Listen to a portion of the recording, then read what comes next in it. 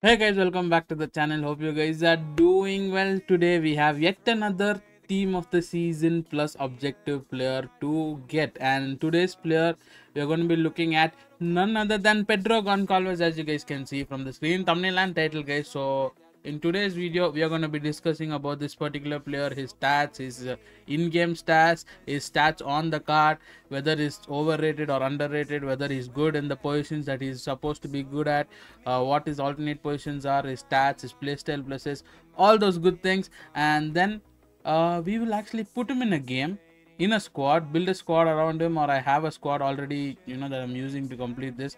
So i'll just put him in that squad and we'll see whether he's good at those positions whether he's good uh, whether his stats are actually true to the stats that are on the card or it's overrated or underrated.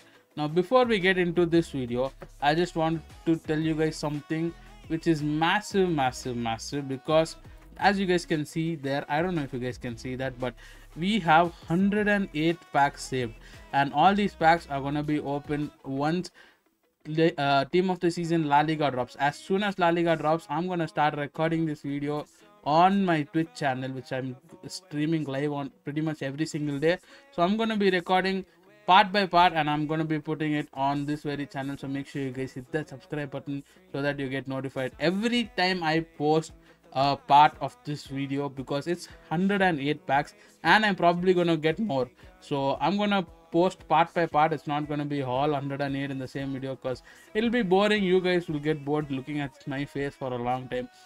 Uh, now something great about this player is his, his stats which is pretty insane i would say because if you guys look at the stats he has 90 pace 91 shooting 90 passing 92 dribbling 82 defense and 80 physical. You guys know that i'm a big stamina merchant because I love stamina. I don't like going to my squad and team management and changing players mid game. So 99 stamina is something that I'm looking forward to. Now, what I'm most most excited about is his his curve and his finishing because he has only 88 curve but he has 93 finishing guys so from left wing position will he be able to overcome Nicolas Beste because he is the best left wing I've got in my team so far. Nicolas Beste. I've even upgraded him using the Torch evolution. So, will Pedro Goncalves be able to, you know, take that position from Beste? Because Beste, I don't have any chemistry on him because he gets maximum one chem from somebody. So, that is it. Will Pedro Goncalves be good? So, yeah, let's look at it this is the team that I used to complete uh, Pedro Goncalves and I'm actually liking this card. So what I'm going to do is I'm going to just make one small change, bring in Bowen and then just keep this squad and use this squad as my uh, rival squad and just see how it is. I might bring out Bruno and put in some, you know, higher rated player. But I, I, I am actually enjoying that squad so far. Even Bruno Fernandes is not that bad. I just don't want to lose chemistry. Oh, Kobbie Mainoo. He can be played at cam. What? Oh, I did not know that. Okay, sure, Kobbie Mainoo. It's the game time. Okay, this is the squad we're to be using. I don't know why I have Bernardo Silva at 92 evolution, but I don't know when I did this. I think I when I started playing this game, this evolution was been out. So I must have done that that time. And he's just been sitting in my squad. So I thought, okay, I'll just put him to use and, you know, get the chemistry over here. So I am not going to be using any chemistry style on him just yet. I'll just let these all you know boosted chemistry do its wonders and see how it is. Maybe if he's gonna be in my main squad then i'll use him uh, use a chemistry style on him unless and until i'm not just gonna waste my beautiful consumables on it because i have i have to open those 108 packs to get some stuff guys. So I'm just gonna let it be and let's go test him out. The main thing that we're gonna be testing out are his pace, his pass, his cross, his dribbles, uh, and then what else do we need to test? We'll try to test his defense, but usually doing player review videos, it's hard to do testing on you know the defensive stats especially. So we'll just do these uh, higher rated testings, which is pace, passing, crossing, shooting, and dribbling and stuff. I don't know why I just did that. But right? It happens, it happens. But yeah, let us go. Hey, you know what? Goncalves, even though it says only 90 pace, he runs a bit too good. And look at that shot. If he would have had a little bit better shooting, guys, this is what I've been telling about the past few player reviews. They all have like 85, 87, uh, 84, or 86, even 88.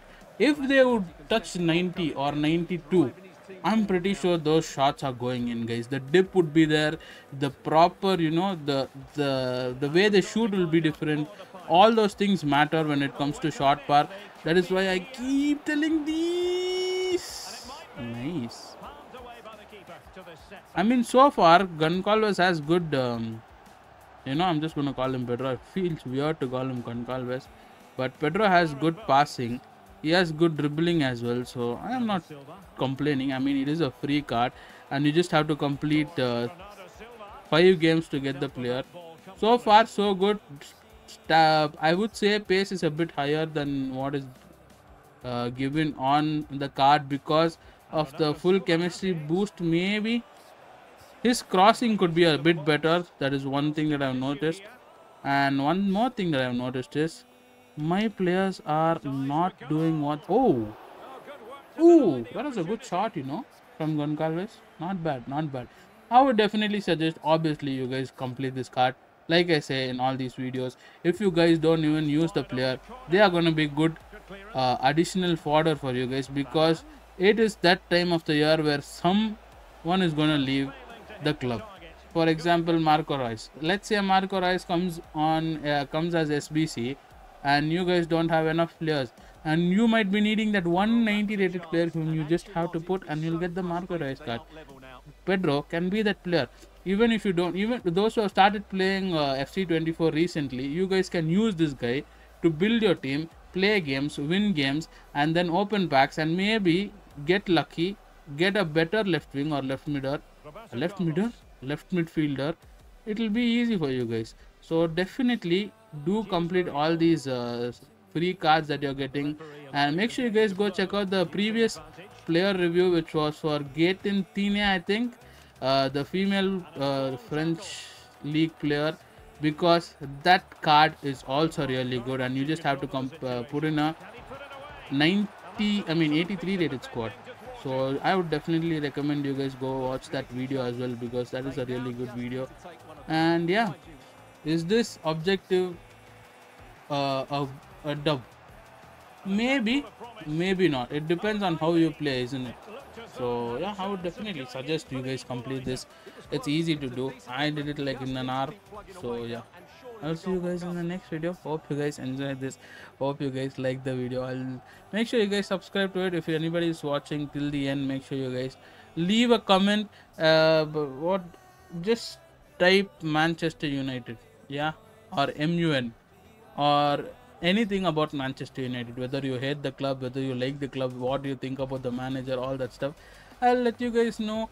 I will definitely get back to you in the comments. But yeah, I'll see you guys in the next video. Hopefully, the next one will be La Liga Tots pack opening. I have no clue when it's gonna be out. But yeah, I'll see you guys in the next one. Until then, take care, stay safe, stay motivated, keep smiling. Bye bye.